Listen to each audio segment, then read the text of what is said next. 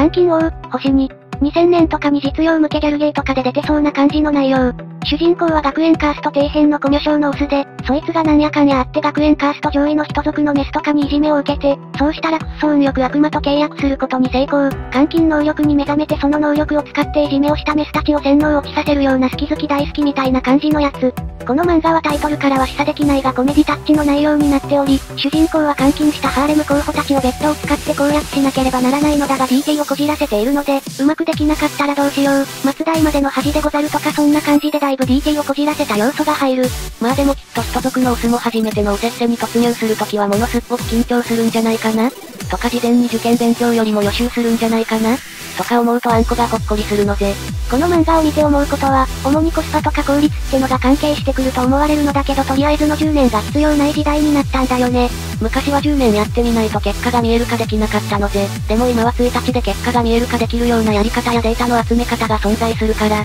10年なんて時間を浪費していたら当たりを引く前に干からびちゃうのぜ。そんな感じでサイクルが速くなった昨今はとにかくインスタントであることが求められる傾向が強くて、音楽業界はヒットソングを作るアーティストがライバルだった昔昔と違って今は、SNS、動画、漫画、といったありとあらゆるコンテンツが人間の1日の時間を奪い合う戦いをしているんだよね。なので、昔の漫画みたく、クラスと和解して仲間、友情とかなんて気の長いシナリオはインスタントではないから受けないので。ためになった、面白かったと思ってくださったらチャンネル登録よろしくお願いします。